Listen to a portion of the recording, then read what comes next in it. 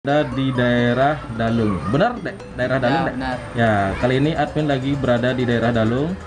Kali ini admin mau mereview dan wawancara sedikit tentang ogoh-ogohnya Kadek. Halo, Dek. Halo. Om Swastiastu, Dek. Saya setuju teman-teman. Ya, Dek, boleh perkenalkan dulu nama lengkapnya, Dek? Kenalkan nama Tiang, Ikadek di Wiguna, bisa dipanggil Kadek atau Wadi. Asli mana, Dek? Asli Kelungkung Tiang. Asli Klukung, ya? Iya. menetap di Dalung, Semeton, ya? Nih, Ini kan Dek tak lihat kayaknya masih muda sekali, Dek, ya? ya. Boleh tahu, Dek, eh, kelas berapa, Dek, dan umurnya berapa, Dek? Eh, Tiang eh, umur Tiang eh, 14 tahun, Tiang bersekolah di SMP 2 Dalung Kota Utara, Kelas berapa?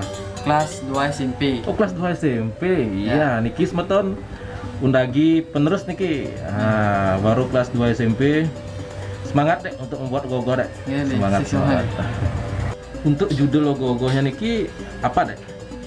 Tiang menemakan logo Tiang Ajian Waringin Sumsang.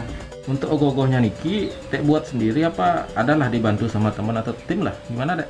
Eh, tim tidak ada, ini cuma logo Tiang ini bekas logo beliin Tiang, eh, logo kakak Tiang. Hmm. yang di didiamin aja Habis itu saya minta untuk tugas sekolah pertamanya kan mumpung ada lomba-lomba gogo dikit yang jadikan untuk lomba gogo dan tugas yang Oh, Berarti dek ngelanjutin dengan tema yang sekarang nih logonya ya Ajian Waringin Sungsang iya. Dirombak lagi ya intinya ya?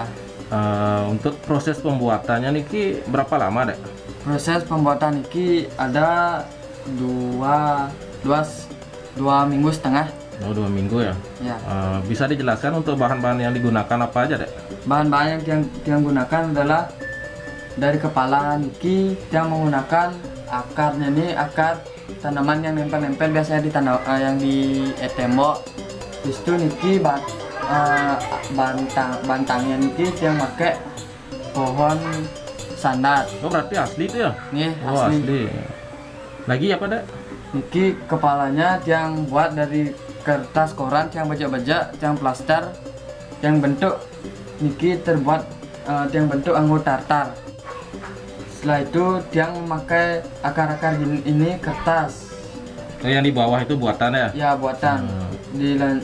Dibuati terus yang diplaster di, kayak digulung-gulung itulah Iya iya. itu digulung diplaster setelah itu di ya ditempel-tempel sebegini dan setelah, itu dicat ditambahkan akar-akar yang asli Di bawahnya itu kan yang lihat seperti kayak ada kuburan. Benar ada kuburan? ya kuburan itu Bisa dijelaskan dek?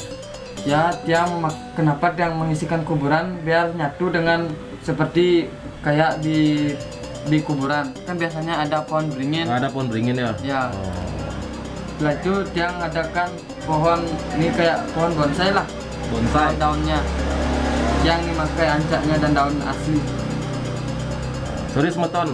Ya ini sedikit agak ribut di sini ya. ya yang penting suaranya kadek sudah jelas. Semeton dengar. Sik semua dek. iya. Di mana dek dapat inspirasi untuk membuat logonya ini dek?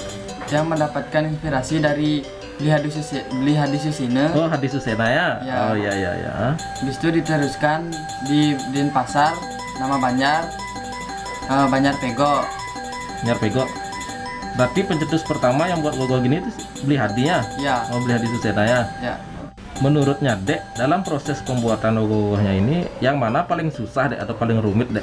Bagi tiang pemasangan kamen pemasangan rambut sama payasan Itu, Itu aja. paling paling paling rumit ya. ya bagi tiang Rambutnya ini dek pakai apa dek? rambut ini memakai ram bulu jaran Oh bulu jarang dipakai tuh.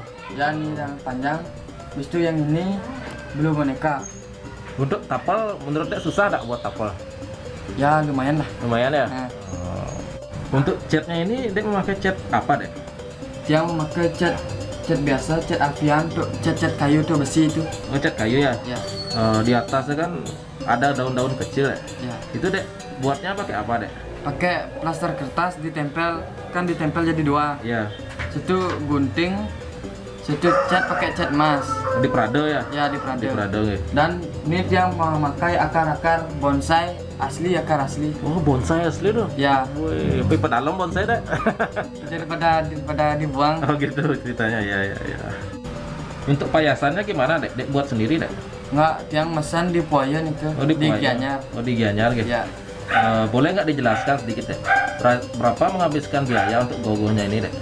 kurang lebih ya 150.000 ribu 150 ribu aja. ya Lumayan murah ya. ya tiang memakai bahan-bahan yang ada di rumah aja Niki kayak panggung tiang kayu dapat dari bekas bangunan Oh, di Ini- tetangga. ya Eh, Niki bulu dulu tiang punya berarti 150 ribu itu menghabiskannya di mana aja deh bahannya? Nah, di cat di cat di payasan sama nih kayak burung-burung ini Gitu. Untuk di panggungnya niki dek pakai bahan apa aja dek? ini tiang agak serabutan King ya Oke. Niki kayu kayu bekas tiang pakai itu tiang lapisi dengan kain buludru Ludru. di sini ada kain kayak prade-prade untuk di list tuh Heeh. yang tempelkan saya potong ini untuk list-listnya saya taruh di sini listnya list itu yang di bagian tengah yang ada uh, daun-daun kering dan ini ada daun kayak daunnya bonsai lah daunnya bonsai Itu apa dek? Kembang rampi itu dek? ya Oh, yang kembang. kembang rampi Oh, yang udah kering Kembang rampi ya. biar kayak ada rumput-rumputnya Kayak rumput oh, Ya. ceritanya ya. ya Mantap nih dek. Eh, sekarang di Bali kan lagi marak-maraknya ada perlombaan ogoh-ogoh dek. ya Ogoh-ogohnya dek niki ikut serta dek di perlombaan tersebut dek. ikut yang mengikuti dua lomba Ki. di pertama eh, online itu yang ikut online itu lomba gogoh di Tensiat Oh banyak tensiat. Iya. Eh, yang kedua di offline Offline offline itu di tiang ikut lomba di Pondok Pojok ke pondok pojok. yang di Denpasar Oh, optimis juara dek. Custom Kare Langsung tetap op- optimis ya. Nih, Yang penting kita ikut ya dek ya. Ya. Tak demen sih kita dek. nih. Bisa dijelaskan dek sedikit dek untuk sinopsis eh, dari ogoh-ogoh Ajian Waringin Sungsang niki dek. Bisa nih. Yang mengangkat tema Ajian Waringin Sungsang niki yaitu eh, konon Ajian Waringin Sungsang se me- ajian paling hebat dalam dunia persilatan.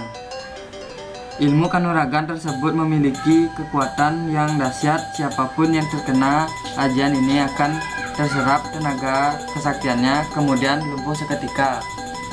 Dan Ogogo ini dinam- eh, mempunyai filosofi yaitu sangat dalam, itu ter waringin yang berarti pohon beringin yang terbalik seperti pohon kelapa taru. Kemudian segala tindakan kejadian dilakukan oleh para pendekar ilmu hitam yang mampu masyarakat mer- merasa terancam. Dengan begitu maka diciptakan ajan waringin sungsang. Amalan ajan waringin sungsang mengamalkan kekuatan Tuhan karena ke, karena segala ke, kekuatan yang dimiliki manusia tentunya berasal dari Tuhan. Pesan-pesan yang mau disampaikan tahun sekarang apa dek?